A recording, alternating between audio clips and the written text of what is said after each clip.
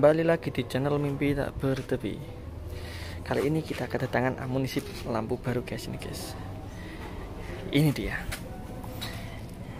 Ini adalah RTD M8 Buat motor bebek ini guys. Dan kalau dibandingin dengan RTD M02K atau RTD M02 yang lain atau yang belum ada proyektornya itu cahayanya sangat berbeda guys. Kalau yang ini tuh spesial. Dia cahayanya sangat rapi. Kalau yang RTD yang nggak pakai proyektor seperti ini itu cahayanya sangat menyebar guys. Jadi kalau yang dari lawan arah itu sangat silau. Meskipun dia eh, nggak e, ngedim tapi itu udah sangat silau dari lawan arah guys. Kalau yang ini tuh sangat rapi. Kalau dibandingkan dengan harganya ya sangat spesial lah. Sekecil ini bisa mengeluarkan output cahaya seperti itu dan sangat rapi itu spesial guys. Dia punya kelebihan dibandingkan yang ini. Kalau di motor bebek guys ya. Dia itu nggak perlu copot reflektor jadi dia langsung bisa masuk. Kalau yang ini kan harus copot reflektor karena dia nggak muat kalau dimasukin dari belakang. Terus yang ini kalau di motor bebek itu dimnya bisa diatur. Ya dia ada setelan dimnya guys. Setelan lampu jarak jauhnya gitu. Kalau yang ini itu dia fix nggak bisa dimaju mundurin nggak bisa diatur. Nah, dia sebenarnya kan buat motor sport gitu guys. Bukan buat motor bebek gitu. Jadi kalau di motor bebek dia itu dimnya itu nggak bisa fokus gitu. Jadi saran saya kalau kalian uh, mau taruh dua lampu LED ini di Vario atau 25 atau yang reflektornya dua itu kalau yang RTDM 01B itu ditaruh di sebelah kanan karena nggak ada dimnya. Yang RTD M8 itu taruh di sebelah kiri. Soalnya dia ada dimnya. Jadi kalau mau nyalip-nyalip dia ngedim itu yang depan bisa kelihatan gitu guys. Ini itu dimnya ikut reflektor guys ya bisa dilihat itu ya itu dia. Itu kalau ngedim itu kelihatan yang bawah itu guys ya. Itu guys itu LED dimnya guys. Dimnya cukup terang guys. Terang banget malahan guys. Cukup jauh. Terus hmm, secara harga itu kurang lebih sama sekitar 250 ribuan guys ya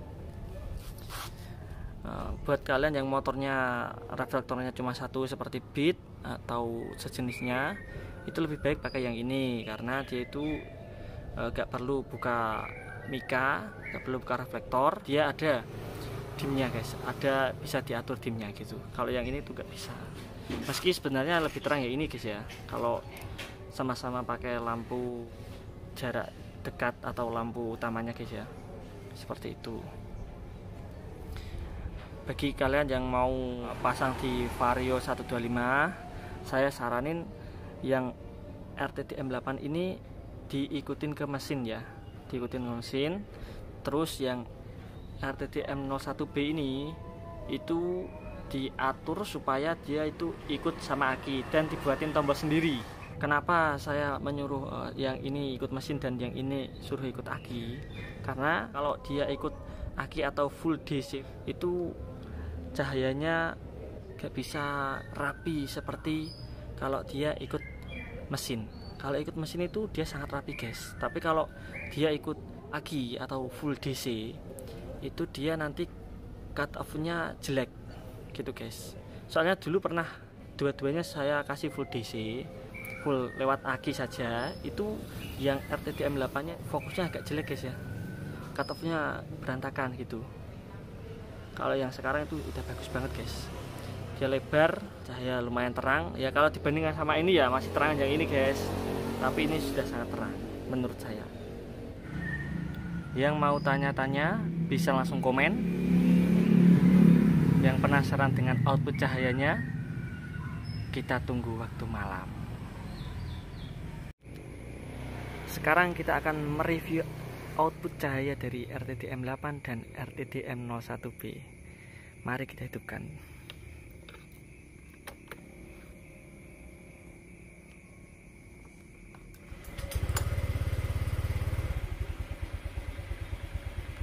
kita hidupkan yang RTDM8 dulu guys ya.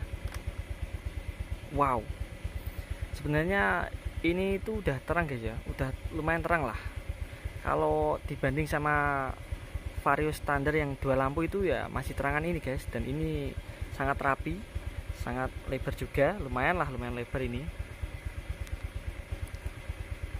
Cut off nya itu bagus banget guys ya. Bisa dilihat di sini guys. Padahal ini jalannya itu eh, nggak uh, terlalu kering guys.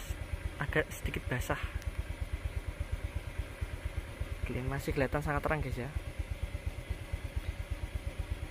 Kita lihat ini M8 guys ya. Ya kita coba lihat ini RTD M8 nya guys dia hidup guys ya. Yang sangat kecil itu guys ya. Tapi outputnya lumayan ini guys. Lumayan terang ini. Sekarang kita hidupkan yang RTD M01B nya guys ya. Wow. Ini tuh sangat terang banget guys ini guys. Kita coba zoom guys. Lihat. Ini cut itu cut itu cut off nya sangat terang ini guys sampai sini dia. Ya lumayan lebar lah. Padahal ini projectnya kecil guys. Tapi cukup lebar lah. Ini jalannya sekitar 2 meter guys ya. Jalanannya ini 2 meter guys. Ya cukup terang cukup terang sangat terang sih. Kalau dilihat secara langsung ini sangat terang guys. Dan cukup lebar. Lihat ini guys ya. Ini lampunya yang RTD M01B nah, ini lebih besar guys dari yang ini. Ini kan kecil banget ini guys ya. Kalau ini lebih besar.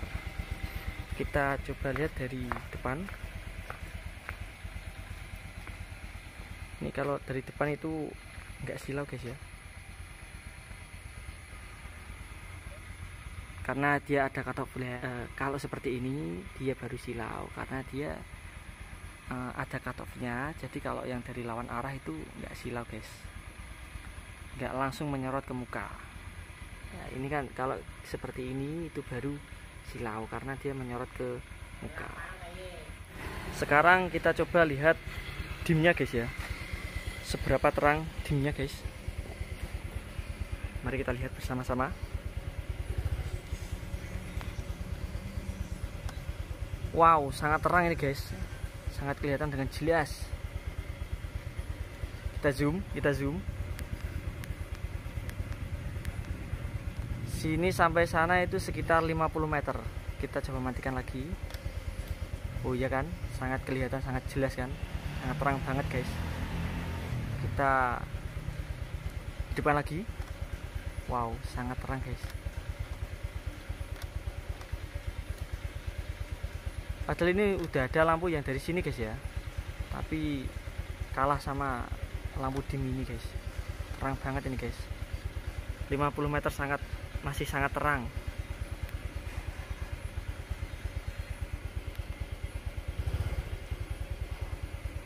Oh ya yang yang lampu yang sebelah kiri itu saya langsung dari aki guys ya. Kalau yang sebelah kanan ini ikut mesin. Jadi biar bisa lebih maksimal gitu. Eh, soalnya kalau yang sebelah kanan ini pakai langsung lewat aki itu cut off-nya nggak bisa sebagus ini guys jadi dia itu cut off-nya itu nggak bisa lebar gitu Oke, demikian review dari saya. Jangan lupa di subscribe, komen, like, dan share ke teman-teman kalian yang banyak guys ya.